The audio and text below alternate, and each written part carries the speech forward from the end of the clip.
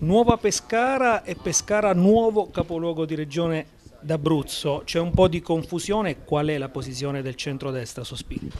La posizione del centrodestra, eh, a seconda dei territori in cui si è eletti, può assumere diversificazioni. Certo è legittima la posizione di chi vive all'Aquila e pensa che sia immutabile eh, qualsiasi assetto istituzionale e chi invece a Pescara vedrà venir meno l'indipendenza di due comuni grandi, uno grande tanto quanto l'Aquila o, posso, o pressappoco che si chiama Montesilvano, che cesserà di esistere creando un'unica eh, grande città da oltre 200.000 abitanti.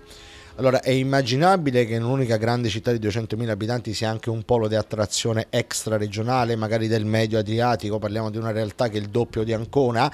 Ecco, mi pare abbastanza ehm, si, ridicolo che a tutte le persone che si recheranno eh, nella città di Pescara per servizi, per svolgere attività, gli si dica prego adesso prendere la macchina, farsi un'ora e un quarto per raggiungere l'Aquila. Ovvero, cosa voglio dire?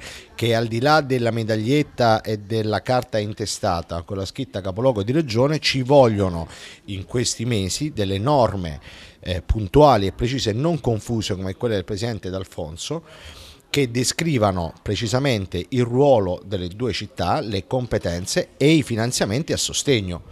Altrimenti stiamo facendo semplicemente un'operazione da campagna elettorale tipica del governatore che però alla fine creerà più problemi che vantaggi. Voi siete favorevoli ad un eventuale eh, capoluogo di regione come Pescara? Ma io credo che Pescara sia nei fatti il capoluogo della regione Abruzzo lo sia per, eh, per l'operosità dei suoi cittadini.